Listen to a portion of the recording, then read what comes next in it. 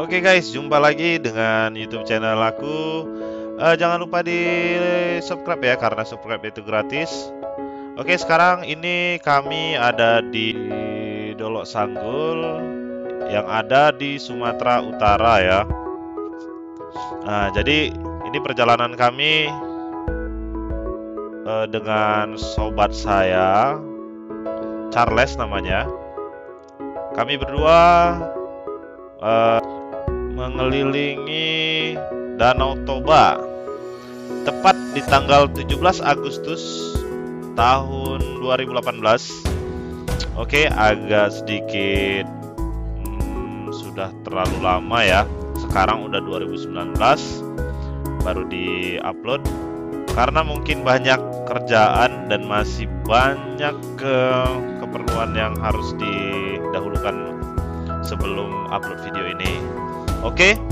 uh, eh, ini di perjalanan uh, sangat bisa dibilang sih langgeng, jarang sekali kendaraan uh, yang berlalu lalang, hanya sebagian sedikit saja di daerah sini.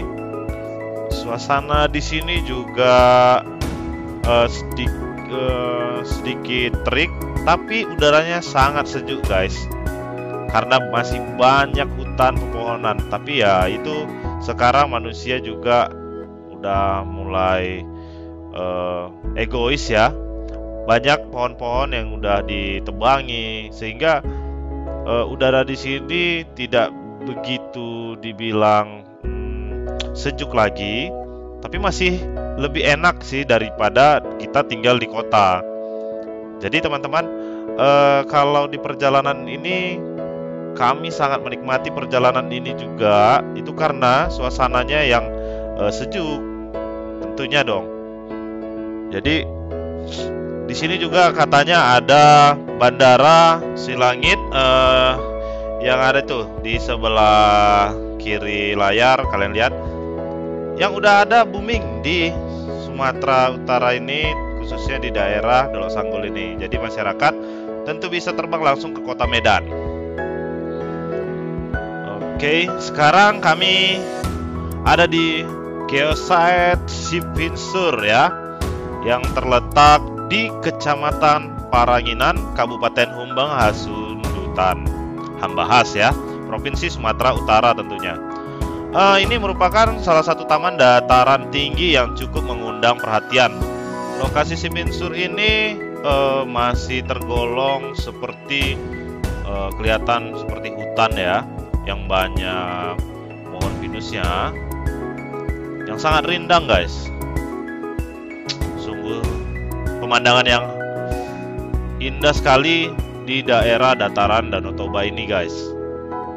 Jadi kalau kalian main-main ke sini jangan lupa ya guys ya, ambil fotonya karena di sini suasananya sangat bagus guys. Akses menuju kawasan Spinsur juga sangat baik. Jalan yang mulus serta tidak jauh dari Bandara Internasional Silangit tidak akan membuat eh, kawan-kawan uh, berpikir dua kali untuk mengunjunginya. Bagi kawan-kawan pecinta kopi juga, jika Anda mengunjungi Sipinsur, eh, kawan-kawan uh, juga akan disuguhkan dengan komoditi khas dari daerah Humbahas yang terkenal ke Santero Jakarta Raya yaitu kalau kalian tahu kopi lintong. Jadi nggak ada salahnya dong kita coba main-main ke sini. Uh, apalagi kalian juga seperti saya ya, anak motor yang senang hobi touring. Untuk keliling Danau Toba itu coba singgah ke sini.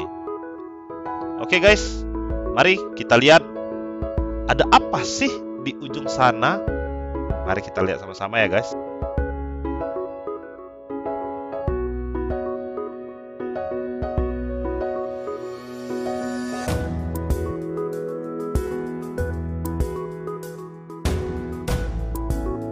Nah, kita sudah sampai.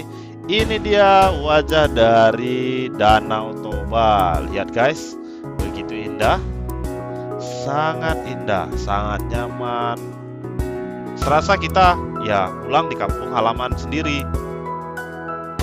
Kalian lihat sebelah sana, air yang begitu luas guys. Di tengah-tengah pulau Sumatera. Tentu kalian tahu dong Danau Toba. Oke. Ayo kita lanjut untuk duduk sebentar menikmati pemandangan ini.